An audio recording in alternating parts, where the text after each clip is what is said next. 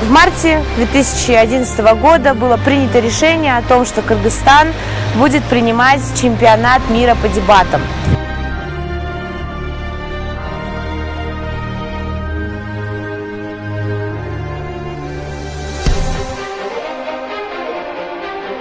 Мы придем сегодня на площадь и поменяем режим.